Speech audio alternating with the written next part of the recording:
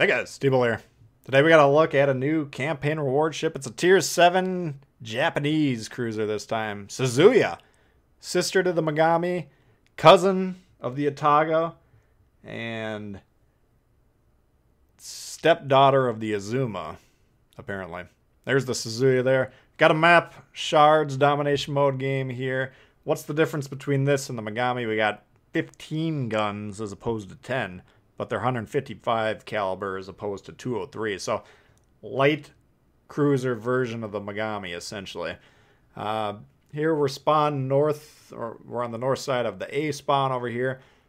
I've been playing this map more with the uh, philosophy of getting crossfires early in the match. Now, if you're spawn in the middle, depends on which side you are, north or south side, but you can shoot into one flank or the other. Uh, they're usually not expecting it. Or if we're on the flanks here, you have the option to shoot in the middle. And again, they're not usually expecting it. Other problems we have over here, we have no destroyer. They have two destroyers. We have two destroyers. So I'm guessing they probably, you know, it's a 66% chance they have a destroyer over here. And he's going to move into the cap. He's going to spot me. I got one battleship backing up around the island to the west of me. The other one's going to go kind of to the southwest and divide himself from the rest of the map by putting those three large islands between him. Uh, that, at least that's what it's looking like based on the deployment. So we're going to zone torp there just a moment ago into the cap, hoping to kill that destroyer that we expect to be there. And then we're just going to move to the east about one grid and start supporting the middle here. And this, if you can change the balance of power here and create these overloads where initially it begins as a 3v3 in the middle, now we're creating a 4v3. And again, they're not going to expect it right off the bat. So moving in. We're just going to start peppering this Vlad here once the situation dictates. We're going to go ahead and take a couple shots. This is Nagato. Well, he's spotted. We don't get spotted there uh, due to the island cover.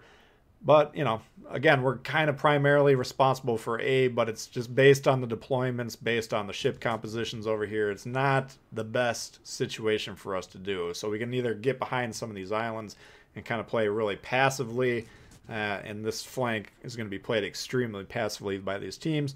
Or we can just kind of move over here, support the middle, and uh, start burning this Vlad down. Now, the Vlad, Russian battleships, usually not the best candidates to try and burn down to HE, but he's basically got everyone that spawned on B shooting him, or at least a couple of the ships are.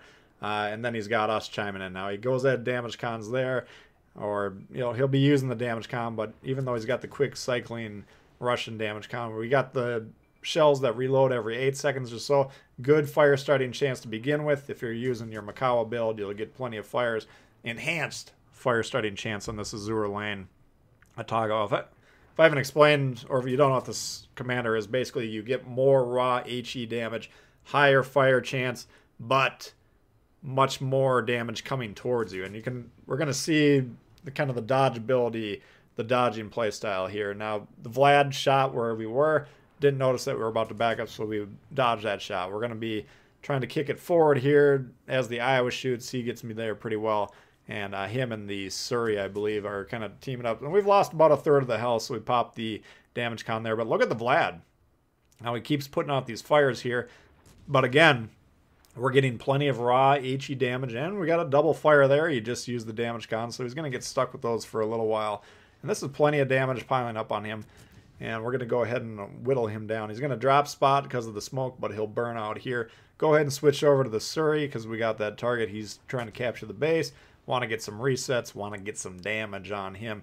Iowa continues to shoot. And note when we're seeing these shots come in here, basically we're zooming out usually pretty much every time we shoot. We want to be keeping an eye on the horizon, seeing these shots coming. And then when they are coming, we want to turn away from them and that'll uh, keep us alive a lot longer. If we're getting shot in the Citadel with the Mogami, the Suzuya, the Atago, ships of that nature, the games won't last very long. So the ships aren't meant for that type of behavior. But if we can keep dodging these shots for the majority of them and be angled enough to protect the Citadel, uh, like we were there, uh, we stay alive long enough. So, in my opinion, I haven't done a side by side armor view analysis. This one doesn't seem quite as sturdy as the Mogami when you tightly angle it but um, overall it plays pretty similarly. And maybe the differences in armor are all all in my head. I know there's slightly less HP on this one. Check this play out here. We got a splash there. The guy's in the smoke, so we don't see him, but we aim at the splash. And because he's uh, basically, we're alerted to his position, we get another hit and a reset. Not catastrophic or anything, but that is a trick I wanted to show you guys. You can, anytime you're torping those, uh, the smoke covered positions and you see a splash like that, you see the torp hit, you can kind of deduce the position. Again, shots come in, we turn out. Now, good players that are able to adjust their aim, it's kind of a fool me once, shame on you. Fool me, we can't get fooled again type of a situation. If you keep dodging these shots, you keep pulling out time and time again, well, they're just going to aim up a little bit more. They're going to aim in a little bit more. They can adjust their aim, potentially just switch over to the HE. There are ways to deal with this. So it's always, you know, it's not a situation you want to only have. You get it's one of the tools in the toolbox. In other words, to do deal with ships. And we almost took a lot of damage there a moment ago because we figured he was going to be dead. Kind of started turning to the right as we're doing now because I want to get into B as quickly as possible. But we were more or less broadside for his final salvo. Just got lucky. I was taking some hits here. We're going to be piling in here. Just keep gunning him until he's dead. Again, 8 second reload. Good raw damage output and good fire starting chances. I was going to be in a lot of trouble here. His best bet, maybe get one more shot off at us or someone else, but he's not long for this world. So we got C. The red team started off with C. We flipped that. Uh, we're winning that side over there. We're about to kill a destroyer, I believe. But, you know, up until that side gets resolved, this is still a pretty open game. So we definitely want to get on B as quickly as possible. Would have been nice if these battleships would have just moved in there as we were kind of attacking the middle with them. Really press that advantage. But nonetheless, we'll get on B, we'll get that cap, and then as long as we can hold a two cap advantage, the game should be looking pretty good. Raw zoning torps here. I'm looking on the map saying, okay, we got a destroyer on the loose. That's the final piece of this puzzle. Once we take him out, there should be real, really no reason that we would ever lose this game. So we'll just throw him out there. No harm, no fall if they don't hit. Um, but then we're going to move into B here and uh, try and lock up the win. So, Suzuya, what do I think about the ship? I got to tell you guys, if you're not that familiar with my channel, I really like the Mogami. I really like the Atago. Those are some of my favorite cruisers in the game.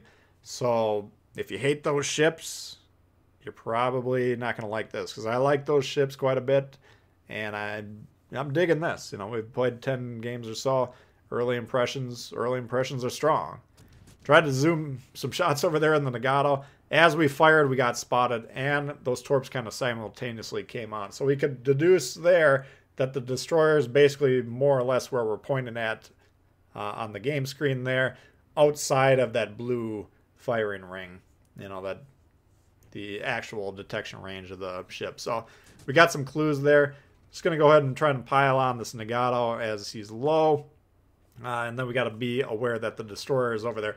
Kind of a misplay by this destroyer. He had time to get on B and capture this base. He was just kind of sailing. You can see where he's grayed out on the map. He went all the way around the island in front of us, and then he just parked on the far. So you can see on the map where he is now. So he had plenty of time to get on this base, sail through it, and then if he wanted to go towards C, he could have done that. Uh, but we are trying to dodge the torps here. Don't have enough steam though, and we get knocked down to 865. And he's going to take one more shot here. We're going to be down to three, fifth or no, 538. Holy smokes! There's not a lot of health left to deal with. So we're expecting to die here. Uh, we're just trying to get as many shots off blind into the smoke as possible. And if we can get some torps off, that would be a bonus prize because we got a pretty decent chance to hit this guy uh, from that range. We're looking at where those shots are emanating, getting clues as to where we should be torping. And then once this Nagato burns down, we drop spot. And that actually is uh, going to keep... Well, we took some shots there, but luckily the armor on the side holds up. And that's going to keep us alive. So we're not going to quite get those torps here. He's going to be on the run. But as this is happening, I want to point out... I got some giveaways going on this channel here. Wargaming gave all the CCs some ships to give away for the two year anniversary.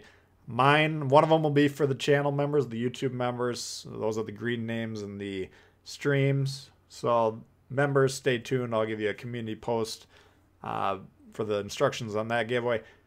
One giveaway here. We got a tier 4 ship on this video. Now, you got to pick between Krasny Krym, Giulio Cesare, and uh, Hocknick. So two of three, two of the three of those are really solid ships, and some people even like the third one. How you enter? Go to the comments section, write down, you know, PlayStation or Xbox, whatever you're on. Gamer tag must be spelled properly. If it's spelled improperly, I guarantee you, you're not going to get the prize.